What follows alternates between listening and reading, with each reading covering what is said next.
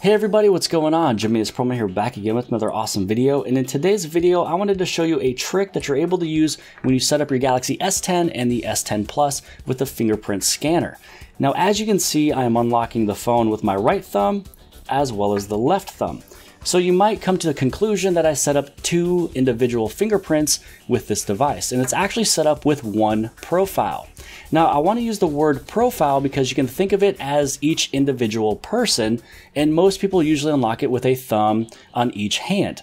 So let me show you what I'm talking about. Let's say we head inside of the settings, we go down to biometrics and security, head inside of fingerprints, and you can see right here that it says one fingerprint has been added. So let me put in the credentials. On the screen here, you can see that it just says Jimmy, and that's because with this one profile, um, I set it up with both of my thumbs. Now, every single time that you add a fingerprint, it is scanning your thumb or finger 16 times. And what it does is it goes through its memory, it goes through all of the scans that is being used when you set it up. So then this way it'd be able to unlock your phone.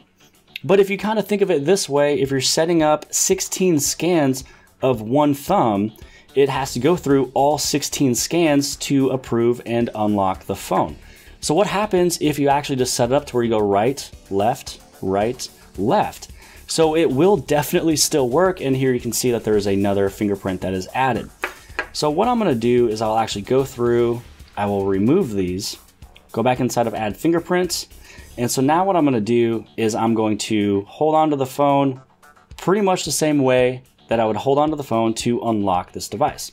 So I'm gonna hold onto it this way, hold onto it this way, but I'm also gonna go at different angles. So I just went two more there, two more here. So let's just kind of finish it out in pretty much the exact same area of what it would be held like, you know, if I was holding onto the phone. So unlock, unlock, unlock. So really what's happening here is I set up, my fingerprint one is underneath the profile of Jimmy. So now this way, if my fiance or another family member wants to set up a fingerprint, they will add in a fingerprint, but they should technically call it add profile. So then this way, underneath Jimmy, there is 16 scans total. There is eight with my right thumb, eight with the left. And then with somebody else, you have 16 more. Eight with their right, and then eight with their left. So now just go through here, and let's just go through the phone. And you can see that it is still super fast. Now remember, you do want to press down on the fingerprint area a little bit more than what you normally would. So I can actually go there and tap it. So it's a really fast tap, but there's just a little bit of pressure that I'm pushing down with my thumb. It's actually not a lot. Some people think that you can just kind of tap and go and bam, try to beat the clock. Um, it will not unlock it. And if it does unlock, it's not a secure fingerprint. So there has been a few people out there that was really kind of going through and trying to, I guess you can say, beat the clock. Um, but if they were trying to beat it, it's really not that secure. It's not really going through the full ID of the thumb. Maybe the 2D fingerprint on the OnePlus 6T is able to go that fast, but again, it's not as secure.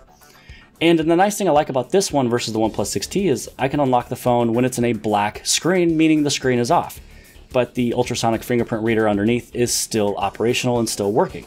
So on the OnePlus 6T, you would have to turn on the screen in order for it to even use the light to read your thumbprint. So this was pretty much the trick I wanted to show you guys.